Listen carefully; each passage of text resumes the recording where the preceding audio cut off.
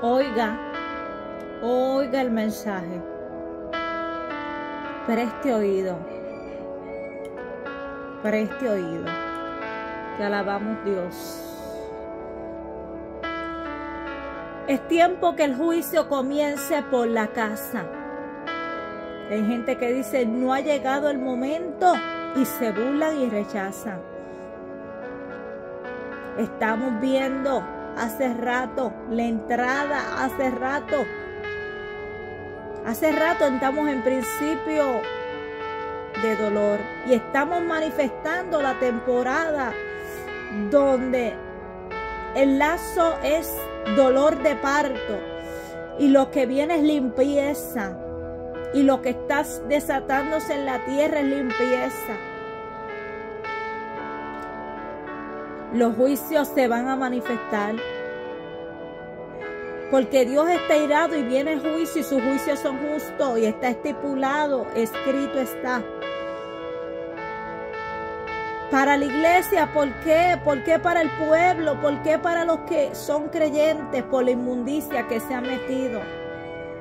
Porque se han contaminado, se han apartado, se han ido en pos de iniquidad y han profanado el altar santo. Y Dios nos está llamando a arrepentimiento. Que limpiemos nuestros corazones. Que limpiemos el traje que el pueblo se santifique, que el pueblo se humille. Vendrá un avivamiento, una cosecha de almas. Van a haber liberaciones y sanidades, pero hay que estar en santidad. ¿Qué es santidad? un tipo de dogma separados, una vida consagrada, una vida de santificación, donde el corazón es renovado, donde externamente como el corazón está limpio, oh, esa limpieza se manifiesta tanto que hay fruto, que lo que sale de vuestra boca, que nuestro andar, que todo vuestro ser sea limpio. Gloria a Dios. Es necesario hacer un llamado, que el pueblo escuche, vengan, pero vengan arrepentimiento. Vengan arrepentidos y convertidos. Vienen plagas, vienen calamidades, vienen nuevas enfermedades, vienen eventos dolorosos, viene lamento y tristeza y llanto. Y es tiempo de escapar por vuestra vida. No sigas ignorando. No escondas el talento. Usa los dones que el Eterno te dio, porque son de Él. La palabra es necesaria llevarla a tiempo y afuera de tiempo. Y la palabra es vida, es real y es más cortante. Clama prisa y marcha. Empieza a caminar y no te detengas, pueblo creyente.